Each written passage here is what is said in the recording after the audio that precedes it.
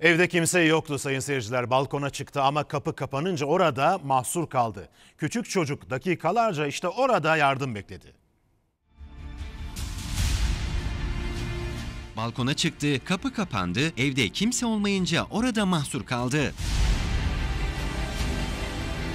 Balkona çıktığında sürgülü pencere kapandı. Otomatik kilit mi var bilinmez, bir daha da açılmadı. Evde boştu, apartmanda. Onu fark eden sokaktaki diğer komşular oldu. İhbarın ardından olay yerine gelen itfaiyeleri hemen harekete geçti.